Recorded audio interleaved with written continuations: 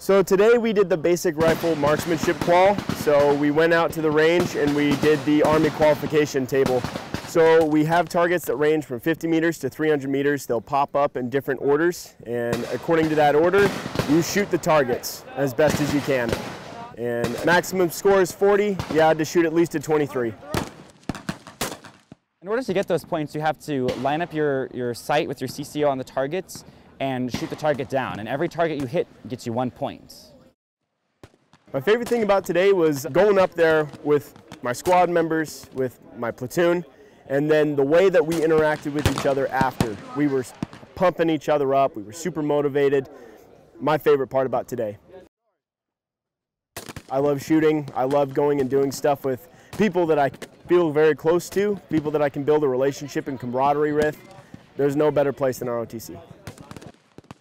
ROTC really introduces you to people from all walks of life, all parts of the country, and it's really cool to get to interact with them, work as a team. We get to really kind of build these really awesome friendships and bonds, and I'm really grateful for that, and ROTC really opened the doors for me to do that.